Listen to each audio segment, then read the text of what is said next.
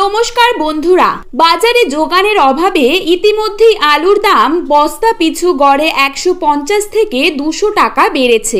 এক বস্তা আলুর দাম বারোশো পঞ্চাশ থেকে তেরোশো টাকা। সঙ্গে হিমঘর থেকে বাজারে নিয়ে যাওয়ার খরচ বাবদ চারশো পঞ্চাশ টাকা অতিরিক্ত লাগছে। দাম আরও বাড়লে সেটা আর সাধারণের সাধ্যের মধ্যে থাকবে না। ব্যবসায়ীদের ধর্মঘটের কারণে বাজারে আলুর অকাল।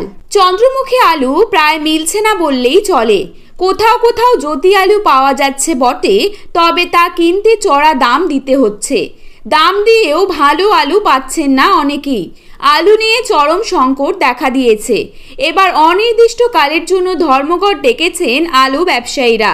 বাজারে তাই যোগান নিয়ে টানাটানি চলছে। যোগান না বাড়লে রীতিমতো অগ্নিমূল্য হতে পারে আলু, তা আশঙ্কা করা হচ্ছে। আর পশ্চিমবঙ্গ প্রগতিশীল আলু ব্যবসায়ী সমিতির ধর্মঘটে ব্যাপক প্রভাব পড়তে চলেছে। তবে আজকে ধর্মঘটে সামিল হননি সিঙ্গুর ও হরিপালের আলু ব্যবসায়ীরা। এই আবহে বিধানসভায় মন্ত্রিসভার বৈঠকে আলু নিয়ে কড়া নির্দেশ দিলেন বাংলার মুখ্যমন্ত্রী মমতা বন্দ্যোপাধ্যায়। অনির্দিষ্টকালের জন্য এই ধর্মঘটের ডাক দেওয়ার কথা কানে গিয়েছে মুখ্যমন্ত্রীর। আলুর দাম ঊর্ধ্বমুখী হয়ে গিয়েছে। আর তাতেই চাপে পড়েছেন মধ্যবিত্ত মানুষজন। এই আবহে আজ মুখ্যমন্ত্রী মমতা বন্দ্যোপাধ্যায় স্পষ্টভাবে বললেন, আলু নিয়ে যেন কোনো ক্রাইসিস না হয়।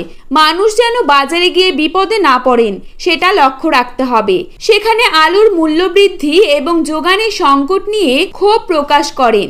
তারপর মুখ্যমন্ত্রী স্পষ্ট নির্দেশ, যতক্ষণ না দাম কমছে, ততক্ষণ ভিন রাজ্যে আলু রপ্তানি করা যাবে না। মুখ্যমন্ত্রীর নির্দেশে যখন আলুর দাম কমাতে তৎপর রাজ্য সরকার, তখন অনির্দিষ্টকালের জন্য ধর্মঘটের ডাক দিয়েছে আলু ব্যবসায়ী সমিতি। মঙ্গলবার আলু প্রতি ক্ষেত্রেই কিলো দরে অনেকটাই বেড়েছে। পঁয়তাল্লিশ থেকে পঞ্চাশ টাকা কিলো দরে আলু বিক্রি করা হচ্ছে। খুচরো ব্যবসায়ীর কাছে যে আলু মজুদ আছে, সেই আলু এবার চড়া দামে বিক্রি করা হবে। তাতে বিপাকে পড়বেন ক্রেতারা। রাজ্যের মন্ত্রী বেচারাম মান্না বলেন, সরকারি নির্দেশিকা দেওয়া হয়েছে। বাজারে ব্যবসায়ীদের কর্মবিরতি নিয়ে নিশ্চয়ই আলোচনা করে একটা রাস্তা বেরোবে। প্রগতিশীল আলু ব্যবসায়ীর পূর্ব বর্ধমান জেলার সভাপতি উত্তম পাল এ প্রসঙ্গে জানান সরকার তাদের দাবি না মানলে ব্যবসায় কর্মবিরতি চলবে। ব্যবসায়ীদের দাবি না মানলে ধর্মঘট চলতেই থাকবে। কলকাতার বাজারের হাল বেশ খারাপ। ধর্মঘটের প্রভাব পড়েছে পশ্চিম মেদিনীপুরের বাজারেও। অনেক বাজারে আলু পাওয়াই যাচ্ছে না। ধর্মঘটের প্রভাব পড়েছে হুগলিতেও। দোকান কম থাকায় একদিনেই আলুর দাম বাড়িয়ে দেওয়া হয়েছে। আলুর দাম চড়া পশ্চিম বর্ধমানেও। আসানসোল থেকে রাজ্যের বাইরে আলু নিয়ে যেতে দেওয়া হচ্ছে না।